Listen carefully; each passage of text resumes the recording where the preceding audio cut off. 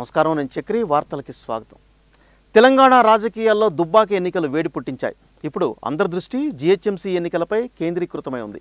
ప్రధాన పార్టీలకు ఈ ఎన్నికలు అత్యంత కీలకంగా పరిణమించాయి. ఈ నేపథ్యంలో దుబ్బాక బీజేపీ ఎమ్మెల్యే రఘునందన్ రావు మాట్లాడుతూ జిహెచ్ఎంసీ ఎన్నికలను బీజేపీ కేంద్ర నాయకత్వం చాలా సీరియస్గా తీసుకుందని చెప్పారు.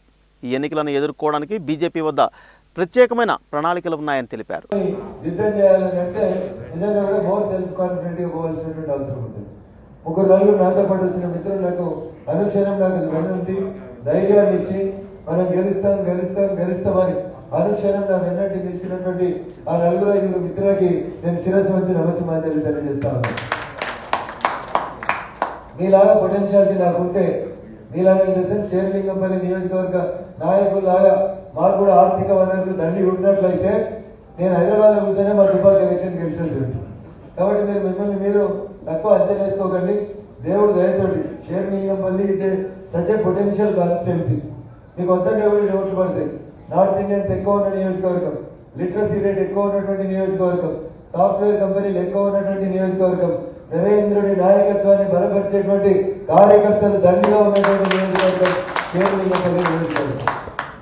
మరి నాచురల్ ఎక్కడుందో నాకు తెలియదు ఎక్కడ సరిదిద్దుకోవాలో మీరు చూసుకోవాలి. పూలన్నీ కుప్పేసినాం సూది దారం పెట్టి దాన్ని ఒక దండ గుచ్చాల్సినటువంటి బాధ్యత ఎవరో ఒకరు తీసుకోవాలి.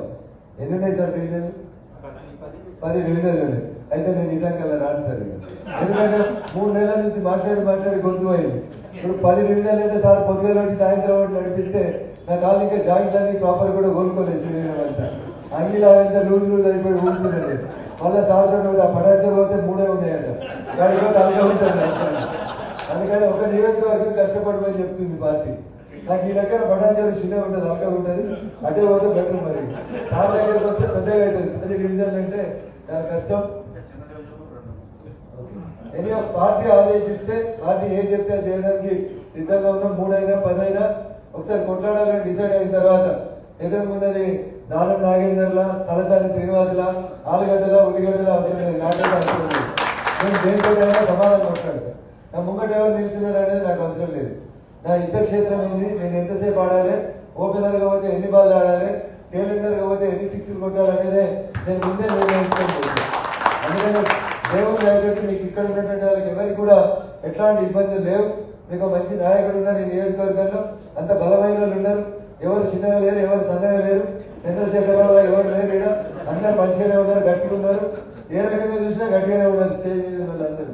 ఎత్తు పొడుగు అందరూ వెంట తీసుకున్నా అందరు గట్టిగానే ఉన్నారు. కాబట్టి పది డివిజన్లకు పది డివిజన్లు షేర్లింగం పని గెలవడానికి అవకాశం ఉంటుంది. నేను ఇందాక చెప్పినట్టు నార్త్ ఇండియన్స్ ఎక్కువ లిటరసీ ఎక్కువ ఎంప్లాయీస్ ఎక్కువ.